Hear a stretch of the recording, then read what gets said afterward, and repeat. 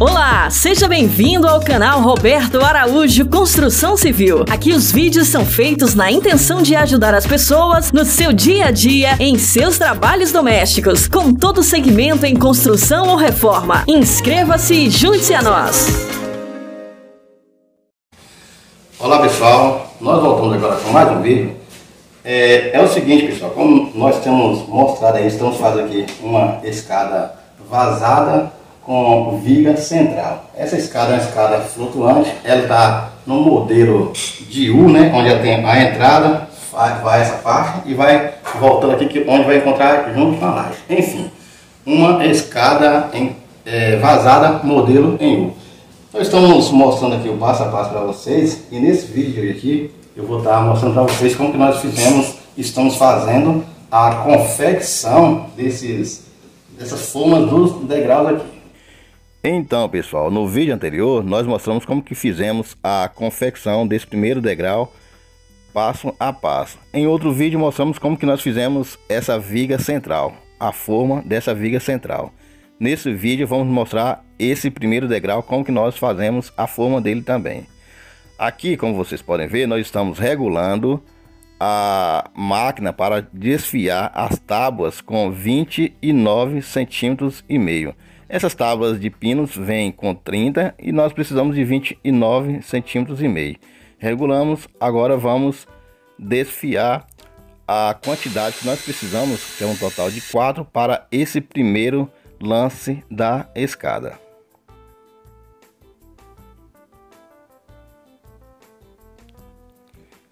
Agora vamos conferir para ver se realmente a medida bateu os 29 centímetros e meio. E vocês podem conferir aí, ó, tá certinho. Olhem só, pessoal, aqui nós é, montamos todo esse primeiro degrau, que no caso vai ficar suspenso, como vocês acompanharem na, na, na demonstração. Aqui agora, essa escada vai ficar com 5 centímetros aqui afastada da parede, né? Ou seja, ela vai ficar uma escada toda em balanço. Mas mesmo assim, como nós já havíamos falado, ela vai permanecer, permanecer com a largura aqui dos 90 centímetros, que é o que está determinado ali no projeto. Um detalhe que eu quero deixar explicar aqui é o seguinte, os nossos degraus aqui são 27 centímetros, como vocês podem ver aqui, ó, e como já foi dito aí durante a explicação.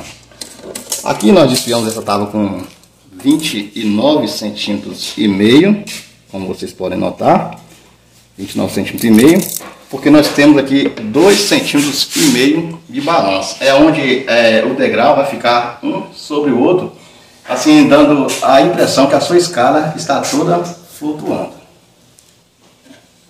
Aqui nós fizemos a outra marcação, aqui embaixo aqui, ó.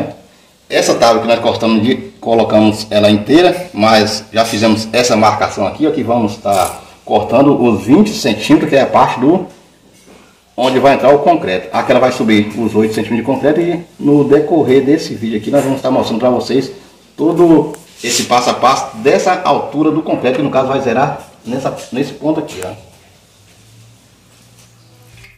Aqui está as tábuas já regularizadas com os 29 centímetros e meio. E esses aqui são os sarrafinhos com 10 centímetros que nós desfiamos também para pregar nas laterais. Esse maior ficou com 85 centímetros, porque a nossa escala tem 90 centímetros a partir da parede. Aí nós já fizemos o corte, onde vai ser a parte do concreto. E agora vamos mostrar a montagem para vocês passo a passo. Pregamos primeiro o sarrafo de 85 centímetros. Nesse ponto vocês podem ver que a gente vai pontilhando os pregos para não bater muito tempo ali. Ou então, é, na hora que a gente estiver pregando, ela correu o risco de sair fora.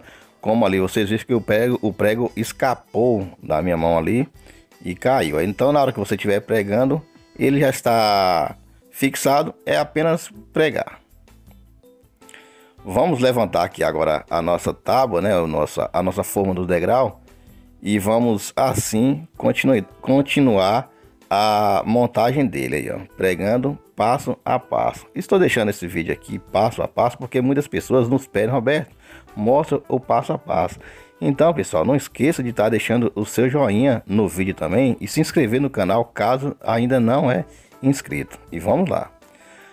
Pregamos a parte da frente do degrau da nossa forma e agora vamos pregar essa parte de trás aí, que é o nosso sarrafinho de 10 também para regular a altura do concreto, que no caso nosso aqui é 8. Então o sarrafo é 10 e o concreto nosso é 8.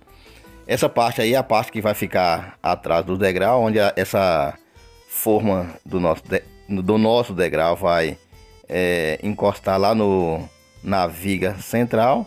E esse corte, como eu acabei de falar, é a parte onde vai ficar o concreto. Esse corte maior que é de 20 centímetros, já que a nossa viga tem 20 centímetros de ambos os lados, na lateral e também no fundo.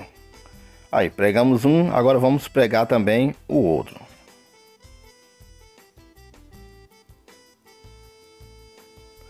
Pontilhamos o prego e assim vamos pregando. Aqui nesse caso, estou usando um prego aqui de 16 por 24, mas se você tiver aí um prego 15 por 21 e queira fazer uso desse tipo de prego também, ele é muito, ele é excelente, né? Já que não corre o risco de rachar a tábua, né? Pocar a tábua. Se bem que o pinus é uma madeira bem macia para fazer esse tipo de serviço. Aí, ó, vamos pregar agora as laterais e finalizar essa, essa forma desse primeiro degrau aqui.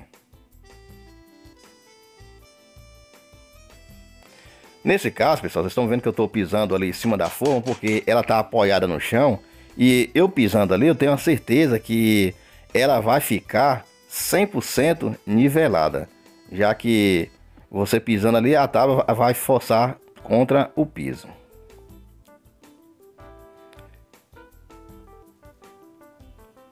Aqui ó, já está pronto, né? Vamos concluir e pronto, já está no jeito da gente colocar já no local. Vamos levar lá na viga e colocar para fazer o teste se realmente vai bater certo o nosso a nossa primeira forma do degrau.